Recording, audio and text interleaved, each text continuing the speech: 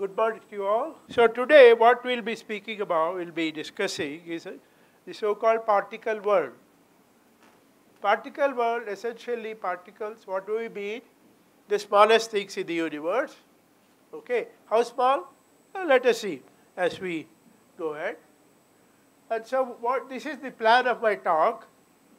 First, some introduction. Then I'll discuss what exactly is an atom. And when we discuss atoms, we can think of the classical particles. So what are those classical particles? And after that, later a lot of new particles came. And uh, what are those new particles? uh, there are quite uh, some experiments done. And if I have time later, uh, I'll talk about what's called quarks. Okay, so I'll keep asking you some questions because I should know, uh, you know, how to proceed. Can you hear me at the back? Yeah, thank you. So, uh, so our, what is our aim? To understand nature, correct? No, in science. Uh, so in this particular case, what matter is made up of? Okay.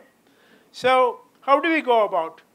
So the next slide will tell us how we go around doing that. What is this one here? Can somebody tell me? What is the monkey doing? What's the monkey doing? It's trying to break something, correct? So, actually that is the method we use to find what is inside, say, atom or proton or whatever, okay? And so, now, you see, actually, this, can anybody recognize this, uh, these dolls? What they're called? You know, one inside the other, like that? Huh? Yes, somebody there? No? These are called Matryoshka dolls. These are actually Russian, but actually, you know, somebody went to Russia to get that and actually it's made in our Channapatna. Yeah, just here. Okay. So that of Indian dolls also now. So actually nature is something like this. Okay. We will go, we'll see that. But for example, here something called atom. Then we look inside, that this is the nucleus. Then we look inside, then we got the proton or neutron or whatever. Then we look inside something else, quarks or whatever.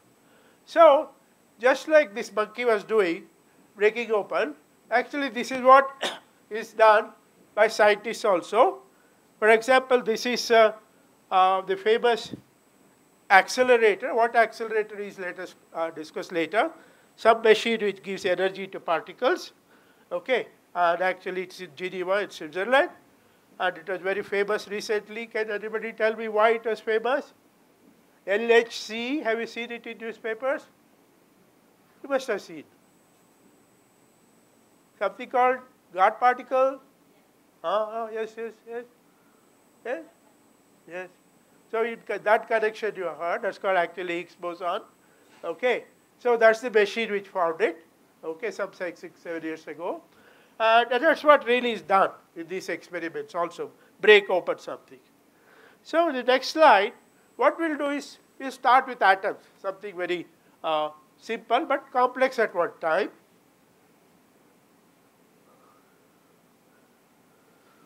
So let's just, you see, long, long time ago, you know, some 2000 plus years ago, some people they started thinking about what is this. For example, this, what is this made of? So there were two gentlemen who came out with some idea. Okay, they said all matter is made of indivisible particles. What is indivisible? You cannot break open further. Okay, that's the end. So they called it atoms. It, uh, there is there is a gentleman called Kanada in our India. Uh, this is before Christ. Uh, Democritus in Greece. He called, Kanada called it Paramanu. We call it atoms in English. Okay. So how did they, okay, that was quite some time ago. So what did scientists do? You see, about 1,000 years ago or something like that, what people were trying to do, these were what you call the beginning of science in some way. Some people called alchemists. Have you heard the word alchemist? There's a famous book called Alchemist. Has anybody read? Ah, see? By whom? Paul Coelho. Okay, yeah. Okay. So these alchemists, what they were doing was, I mean, you know, they were all poor people, so they were trying to make gold. So in this search of gold, they did something very interesting. Nobody found gold, even including our great Newton, who tried that. Okay. But what they did was, actually they laid the foundations of chemistry. In the sense that, for example, they supplied us with today's the, the instruments of chemistry, with the methods of chemistry. Karanal Vidhananti, methods of chemistry. Okay? So that was the great thing about alchemists. And of course, we'll see later, I don't know whether we'll do that, but you can ask me later, of course, atoms can be what you call transmit, transmutation of atoms. That great Rutherford did much later. Okay? So at least at that time, nobody could make gold, nobody got rich, uh, but chemistry, start, chemistry was being born. So let us see chemistry for a little. Some of these people you may know or you may not know, I do not, doesn't really matter the names at this stage. Okay, what they did was, first, uh, there is a fellow called Cavendish, okay, you know, in England. What he did was, one of the very interesting things he did was to find the most basic element in the universe. What is the most basic element? Yes, you know it. Okay? So it was the great Cavendish. He did some very nice things also in physics. And so later, people started finding different things. Now, for example, we come to this guy called Priestley, Joseph Priestley, also in England. He went to America later. And uh, so this is the time, you know, and these are the people, I don't even know whether you can see them from the back, doesn't matter. So Priestley discovered oxygen, okay? Very interesting thing he did. In the, just few days ago, actually, it was the uh, anniversary of Priestley's discovery of oxygen, okay? So then came this man called Lavoisier in France, okay? And actually did very, very interesting experiments. And, uh, but we will, what the most important thing he said was, the idea of an element was coming slowly. Something what Democritus or Kanada thought. Something very, what they thought was indivisible. And he said, no, hydrogen and oxygen are very basic elements, he said. Okay? That means everything else is made out of these things. So the next step was laid by Dalton in England, in Manchester, and he went further and he stated the first atomic theory. Uh, there is some loss, let's not worry about it. But he really was the first one to say these are made of small particles called atoms. And now from then on it became little like kind of, uh, uh, they wanted to make it very kind of, uh, what you call, put everything in order. And this gentleman from Russia, George Mendeleev, let us see, let's systematize things, how he classified the elements and made the periodic table. You know, something great happened this, I think this uh, month about periodic table. Anybody? Periodic table, actually we had the 150th discovery just last week sometime. Okay, what is the periodic table? You, you, ha you have all seen that, correct? But let us see it again. Uh, this is the uh, periodic table here. There are lots and lots of elements there. And so what do we, what, do, what do we want to note here? Here is uh, actually they were called atomic weight. They were based on atomic weight. And as you said very clearly, the most, uh, the lightest element is hydrogen, the universal element. Then comes helium, etc. So now we have the light elements, have the medium elements like carbon, etc., and oxygen, then iron, nickel, higher, very high uranium, etc. So now it's about 1900. How many years ago is 1900? Can somebody tell me? When was 1900? ಎಷ್ಟು ವರ್ಷ ಇದೆ Okay, good. So, 119 years ago. And so what happened was, in and Cartwright, till now we have been talking about chemistry. This is the time physics comes in. Physics asks some more basic questions than chemistry, okay? At least uh, some of us think so. Uh, so they started asking, what is this atom? so now we get some answers to these questions now.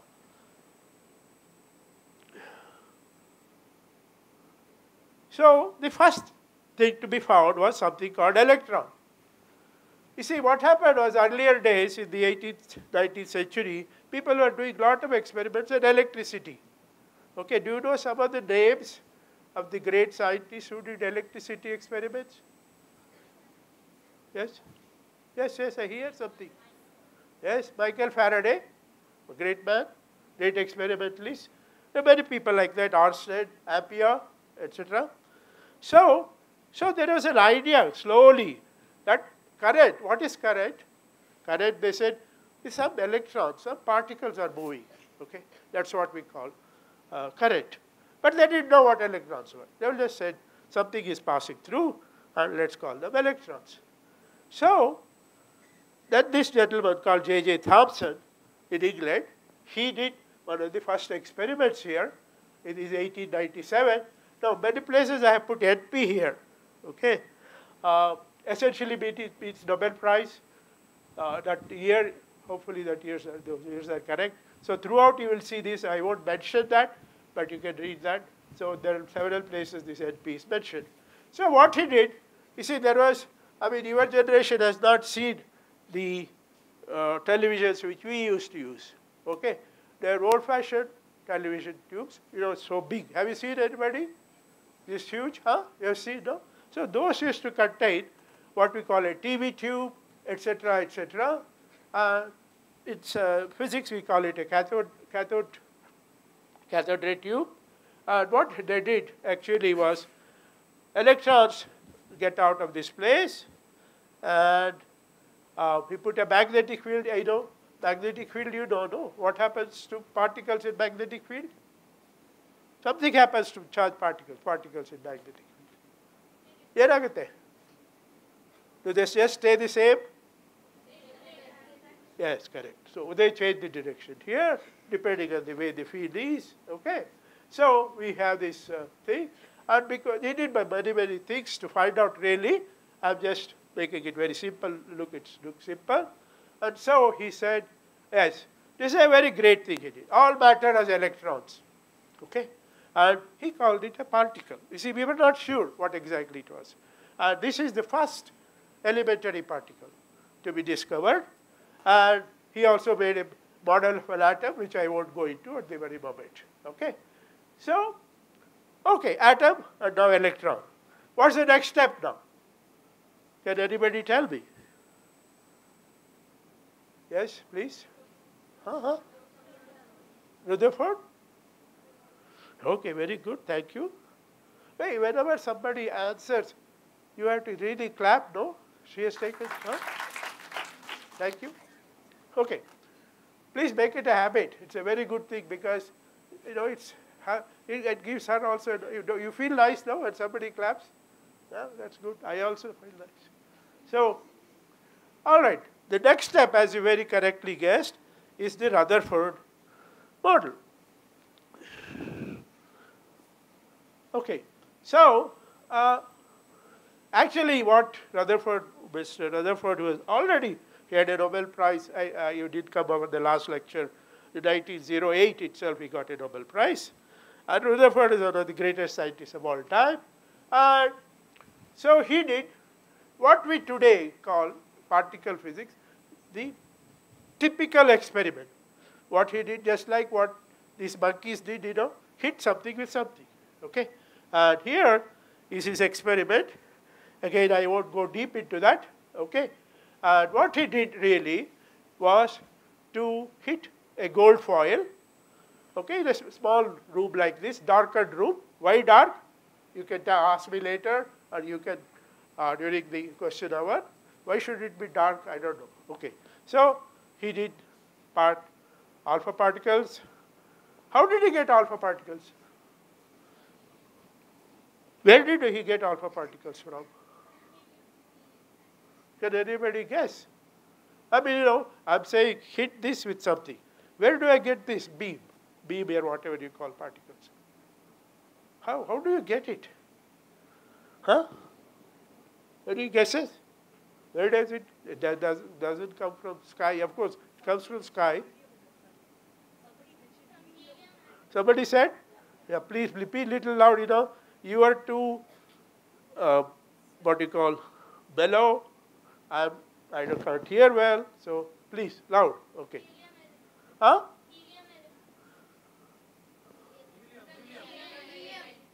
He, helium, uh, helium. Okay, where does it, okay, helium is correct, helium nucleus, uh, but how does it get that? You're correct, totally correct. Alpha particle is called helium nucleus, correct. How did he get it?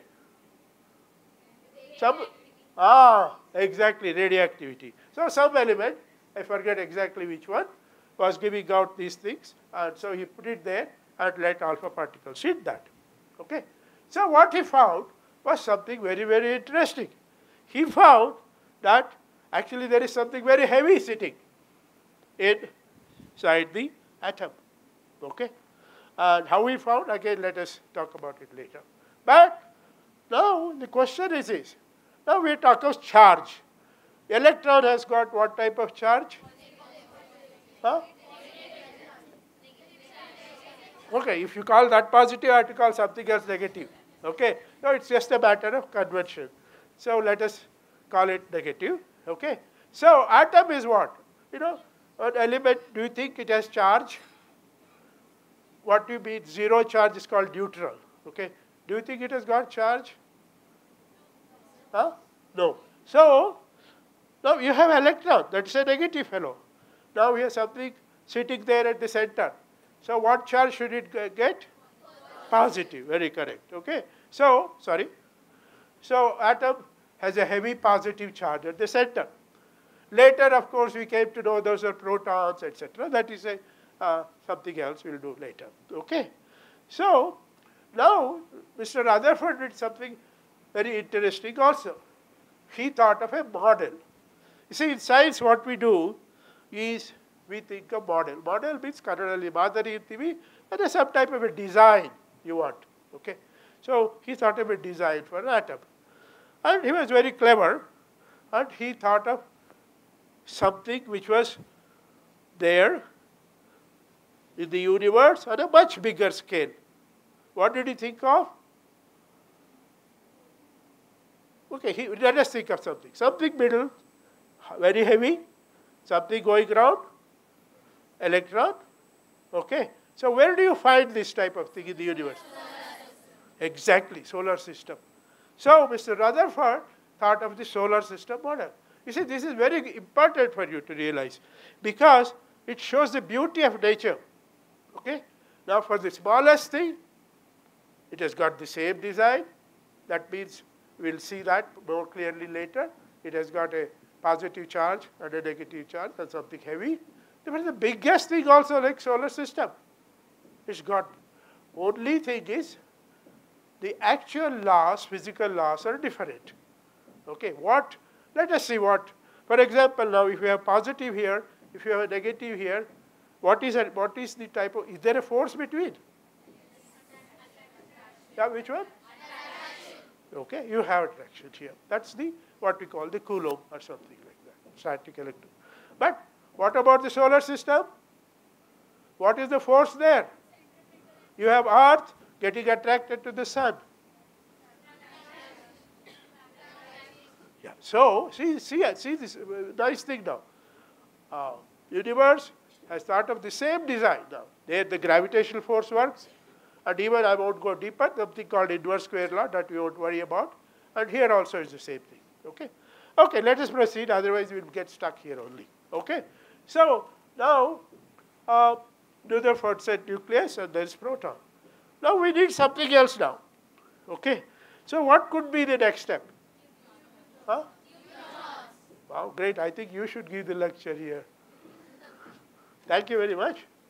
And I think you should clap yourself because all of you gave so, Okay, so, all right. Now there is something in the middle I won't talk about this gentleman who is very, very important, but uh, I skip it to the very end if I have time, or you can ask. Okay? It's because it's not just simple. You know, we said I made it very simple. Solar system, they're similar to our atom. Something more is there in atom that uh, Mr. Bohr brought in, but we won't worry about it now. Okay? So, then what is the thing you yourself said? You see, why do we need neutron? Let us think about it. You people all said neutron, very clear, very correct answer. Why do we need neutron? Why do we need neutrons? There are several reasons we need neutrons. Okay, let us see. Does somebody give one? I actually written that. If, if you are clever enough to read that, that is enough. Okay? Whatever it is, the first three lines, somebody can read. We can read, no? Somebody, loud, loud, loud, somebody. Huh? Need some other particle in nucleus to make up the mass of the atom neutral particle. Okay, now uh, just let's stop there. Okay, so you see why now somebody said helium. No, helium, for example, you said helium. What has helium got? Helium nucleus? Protons and neutrons. Okay, now what's the charge of helium? Huh? What did she say? Helium nucleus now we are talking about. You are correct. Helium atom is neutron. Helium nucleus. Okay, correct, positive. Okay. Now, the point is how much charge has it got? We have got the periodic table. First we said hydrogen, charge 1, mass 1. Helium, charge 2, mass 4. So that's the problem there. It's not mass 2 there. Okay, mass 4. So we got to put in something else. Okay, now, Mr. Chadwick, he found out neutron. Oh, you see, it's all England very interestingly, the first three particles. And uh, so he discovers neutron. But now we should know a little more. Okay, somewhere he brought in from some neutron particle or whatever, you put it there. But there is another basic reason for it to be there. One, of course, it has to fill up the atom. As we will see later, atom goes on getting filled with lots of protons and neutrons and all that. Okay? But there is another reason why neutron has to sit there. Okay? Why could it be? Okay, probably it may not be uh, this thing. You see, okay, let us see. Two protons sitting here. What will happen? We know, we said proton, electron get attracted. What happens if you put two protons? Huh? Repel. So, how are we going to put two protons together in the atom? So, it is still repelling, but there is some other force responsible for it, and that is called the nuclear force. Okay, neutron also has it. Neutron doesn't have the, uh, what you call the uh, uh, electromagnetic force. Okay, so we will see lots and lots of neutrons you will need because uh, sometimes it may not be enough to contain protons. So Neutrons bring in the nuclear force, and protons also nuclear force plus electromagnetic force. Okay, so that's the role of neutron. Okay, now we are somewhere in 1930. Okay, I'm just asking you one small historic question. What was happening in our country in 1930s? Politics. 1930s. Huh? Huh? What, one person. Huh? in our India. Yes, true. True. Very true. Good, you are a universal person. Good. Now, tell me in India what is it? Oh, come on, loud you should be. You see, the problem is, as I said, I can't hear and you should be. You should, ah, somebody said what? Ah, and who was one of the main persons?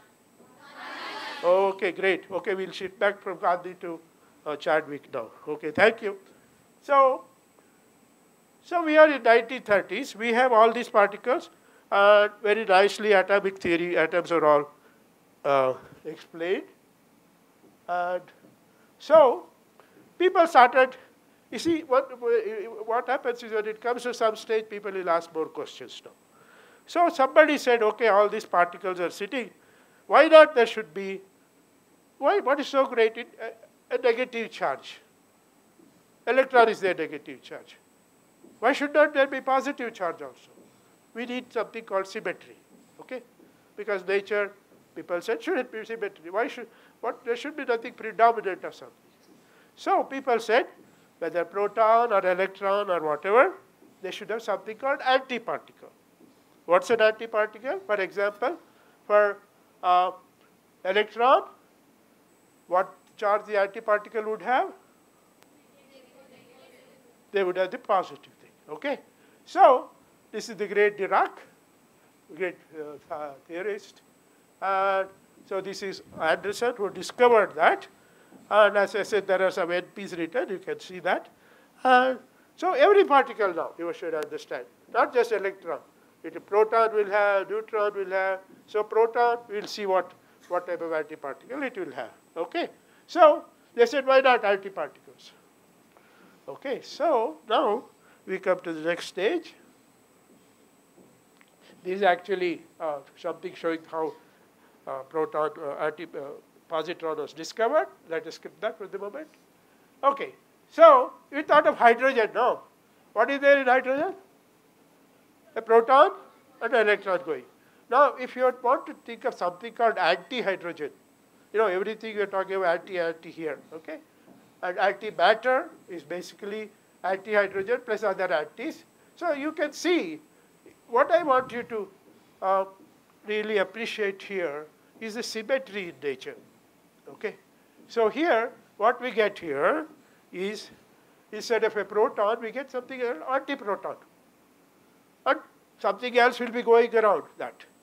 Okay, antiproton will have, proton has positive charge. Antiproton, negative charge, correct. So that was electron, this is positron. Positron has what charge? Positive charge. Okay, so this antimatter, uh, so uh, so now it's we'll just take it for granted all particles have antiparticles. Okay, so uh, we'll get more and more, but I have to go fast. Mr. Nagaraj will stop me soon if I don't do that. So, at about 1935, all these particles were there. And most of chemistry, biology, etc., I think you can explain just with these particles. What? Proton, neutron, electron. Now, we get new particles. Something called neutrino, which I'll explain a little later, was also said to be there. Okay, we'll see how it was discovered later. Okay, a neutral particle now, mass is something which I have not talked about. This is almost no mass or zero or very little mass. Okay. Now, shall we think of electron and proton? Now, actually, I think I have that somewhere in the next slide. Okay, ah, good. You see, in nuclear physics and particle physics, when we talk of energy, uh, we don't usually use the familiar arc type of notation. Okay, we use something called electron volt. Electron volt is something very simple in some ways. It's just the energy gain. You know, electron accelerated, some type of capacitors you put or something, uh, then you will get uh, what's the uh, voltage it will get. So that energy, that is your so many 10 to the power minus 19. I don't know, it's difficult to imagine 10 to the power 19. So let us think of something else. So this is the electron volt. Actually, it's very interesting all this light here, you know, all this by difference of light, they all have energies of electron volt, one electron volt, little later like that. Okay, and if you go into your doctor's office, you see the X-rays, and that one also a photon. I'll come to photon very soon. And that is a thousand. Gamma rays much higher. And electron now is a half billion. Billion is how many zeros? 3 huh? 6 billion 9 okay it goes like that 3 3 3 trillion 12 like that In, uh, in, in uh, India, we use different notations. Okay. So you can see now difference here. Proton is very, very heavy. This is almost 2000 times, half MeV. This is not exact, huh? almost. So uh, that is the type of thing. Okay. So one TeV that I wrote for yesterday's, we are not talking about TV here now. Okay. So, okay, now we have all these particles. We keep saying that. Uh, the neutron, proton, all that have that. And neutrino will be very, very small. Okay. And we'll see how small if we can. Okay, now another particle came in. You see, Einstein, who was born in the late 19th century, uh, he said, till that time, till Einstein came in 1905, he said light is thought of as a wave, you know, wave, something like this, correct? But Einstein said light can exist also as a particle, okay? And he called that photon, which you are very familiar with photo, the word photo, okay? Uh, that's photon there. And uh, so uh, we will also, especially in particle physics, we think of light as photons. We talk of, as I said, different energies photons. So it's essentially an elementary particle. So actually, I should add this also to my list of particles. Okay. So let me just go very fast now. I have 10 minutes. Okay. So let me skip some of these. Okay, so where do we get these particles? As I already told you, we get in radioactivity. You know, Rutherford got his uh, alpha particles from radioactivity. And there's something called cosmic rays. If you had come yesterday, I would have talked a lot about cosmic ray. You would have heard. Okay, so what are cosmic rays? There are lots of particles coming from different parts of the universe. And they come, they interact with, they hit some other thing like oxygen nuclei, nitrogen nuclei, whatever. They make more and more particles. So we today, for example, this room will have plenty of particles. Okay? And what are those particles? They will, of course, have protons, neutrons, and some new particles, which I'll talk about. Okay? And actually, if you go to uh, the demonstration up, we will see something called a muon, which I'll be talking about very soon, hopefully. Okay, so these are lots of particles. And so here, uh, you see the particle coming and making lots and lots of particles. What happens is, when two particles combine, the energy will go into creation of new particles. That's what happens in all this. Okay, so now a lot of new particles are found. Something called pion. Okay, I won't talk about it now, but you should ask. It's called a pi meson. What's a meson? Let us keep it for later because I am very uh, distinct to go into other things. Now, here I'm sure you people will identify this gentleman. Who is this? Okay. Now these two people probably not. This is Mr. Yukawa. He was the one who suggested pi meson should exist, Japanese theorist. This is Wheeler, who is very famous for his black hole idea. Of course, many people went into black hole idea, but anyway. And here is somebody else whom you may or may not recognize. Okay, do you recognize this man? I don't know. Difficult for somebody there? Can you see clearly? No. Okay. This is a gentleman called Homi Bhabha. Okay. He was, he central to our story here. Homi Bhabha was uh, an Indian scientist who worked earlier in England, later who worked in India. He was famous for starting experiments in fundamental research, also atomic energy programs, and several. As you grow older, I'm sure you will come to know more and more. One of the things he did was he was responsible for some of the experiments starting at a very nearby place called KGF. Has anybody seen KGF? Been Kolar region, anybody from? All from Bangalore? Oh, okay. You should go to Kolar, and what will you see there? You will see this. This is called a shaft. You see, Kolar had gold mine, And actually that same long, long time ago also there was gold was coming from there. But a modern mine was set up about 100 years ago. And mine means you go, you know, mine you, go, you have to go underground, correct? Okay. So here was gold was being mined, okay? And so it was a uh, place to do some experiment. What experiments do we do? You see, I said new particles are coming in, okay, in the cosmic rays, and something is called a muon here. Okay, this is, do you recognize this Greek letter? Anybody familiar with Greek uh, alpha, beta, gamma, etc.? Okay.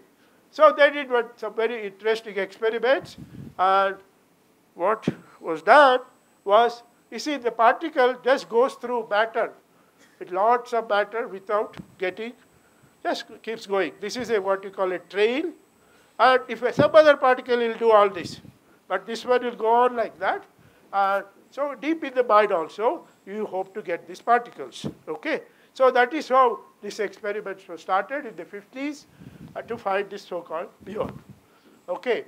Uh, what happened was when they went very, very, very deep, they found this the number, of course, went on decreasing as this graph shows. But when you went very deep, there was almost nothing. So they said that is the place where you want to do new things. If you want new particles, you come and do that there. What do you mean by new particle? You see, the point is this. Now, let us say you want to see stars. In Bangalore, you cannot see stars, correct? So where do you go?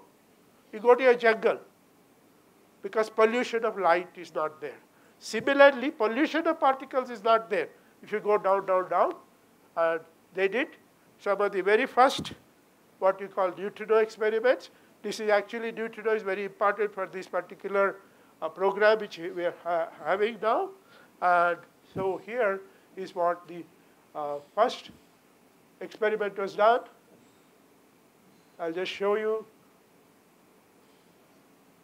That it's very uh, probably difficult for you to understand.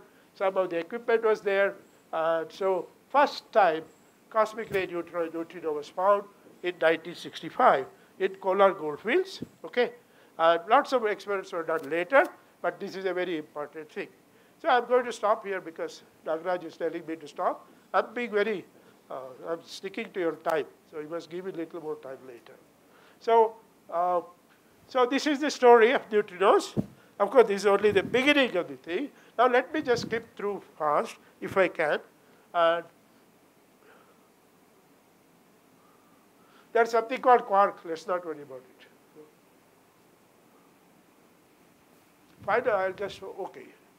Now, I just want to say, because yesterday some people asked me this question. So this type of research, what use is it? But uh, two people or somebody have asked me this question. Okay. Now, the thing is there is really practically no use for all this. Okay. All these people like, you know, when J.J. Thomson did it experiment, Rutherford did all this.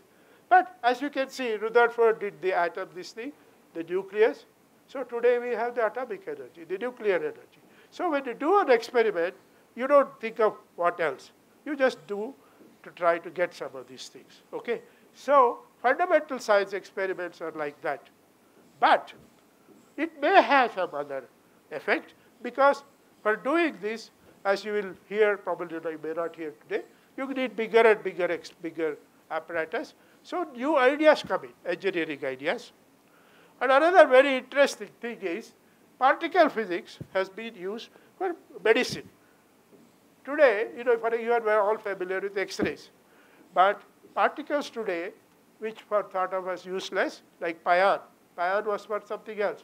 But today you have pions in the lab, in, in uh, hospitals. You have positrons.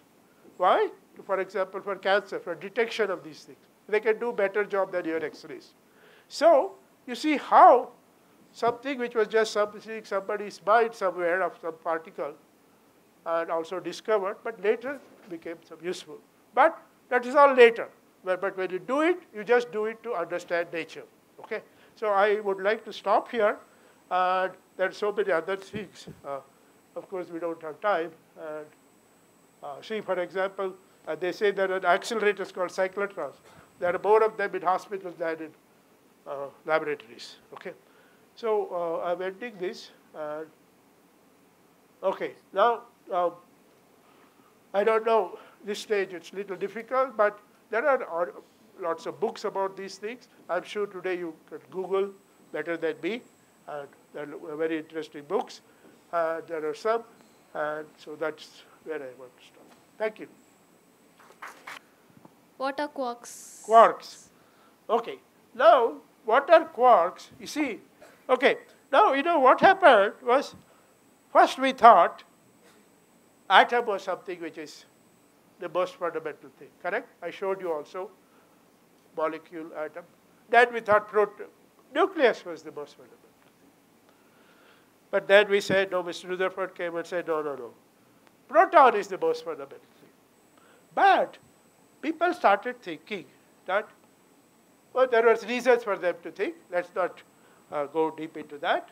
And somebody called Gell-Mann, who died recently, what he said was, no, no, even this proton, neutron have particles inside them. Okay? So he called them quarks. Okay? Now, there are six quarks actually, but he, he gave the, at that time it was three. Okay? And so quarks are essentially what makes up, you see now, now let, let us again go to this slide, big one. Now this one here, this is called uh, the, most, the fundamental particles today. Please notice here, proton is not there in the list, neutron is not there in the list. Okay, and no pion, etc., etc. Okay, so what we have here is your electron, the good old, very old particle and something called muon, which I talked about little.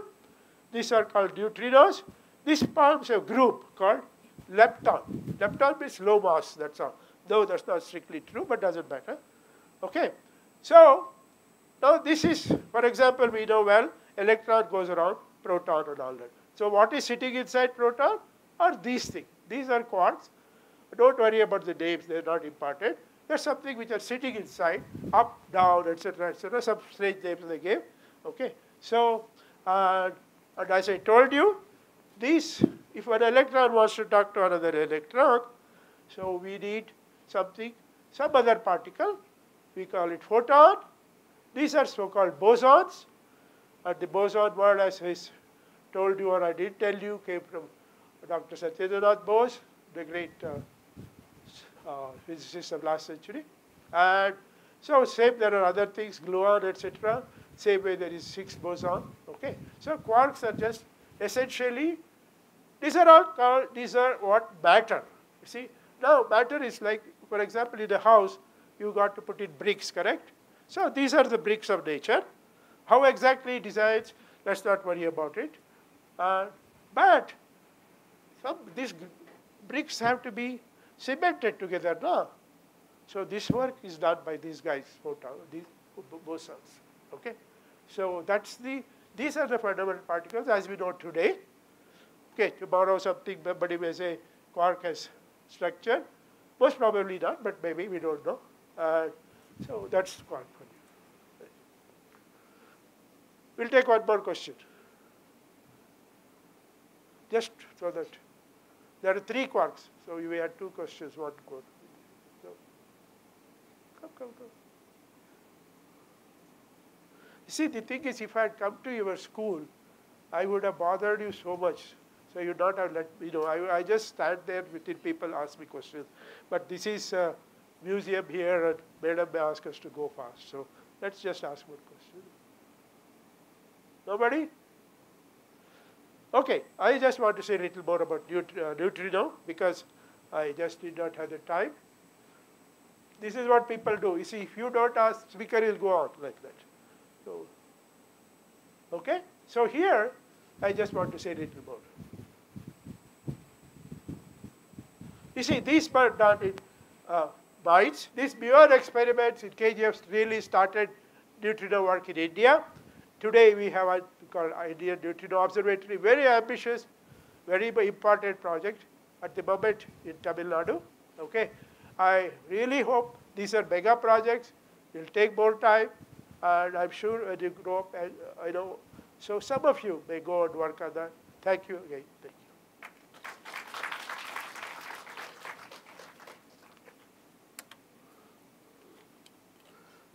So, Thank you, Professor Vishwanath, once again for the excellent introduction. no, I just want to give two books at least. Yeah. So he is a very good science communicator, especially in So- Kannada. Yeah, yeah. So someone asked Ah, about uh, This quark. is, but this is in Kannada, okay? Yeah, So, you can.